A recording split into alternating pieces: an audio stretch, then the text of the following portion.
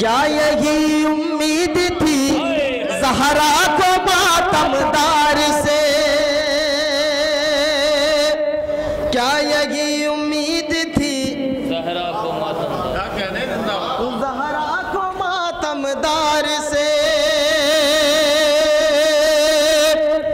अमदहत हैदर मनाजिर आज करने के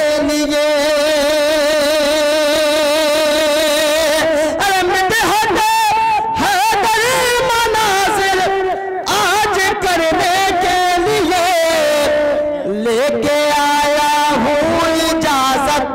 मीसा में तम्मा